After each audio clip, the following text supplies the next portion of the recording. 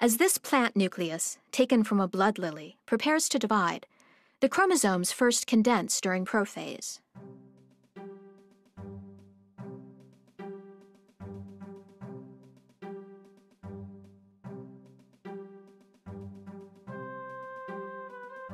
Next, they gradually line up across the center of the mitotic spindle.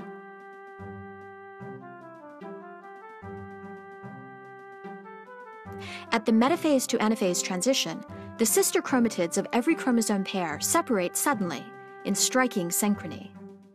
The chromosomes are pulled along the microtubules of the spindle to opposite ends. After chromosome separation, small vesicles line up in the center of the spindle and fuse with each other to form a new cell wall between the two daughter nuclei. At telophase, the chromosomes decondense in the newly formed nuclei.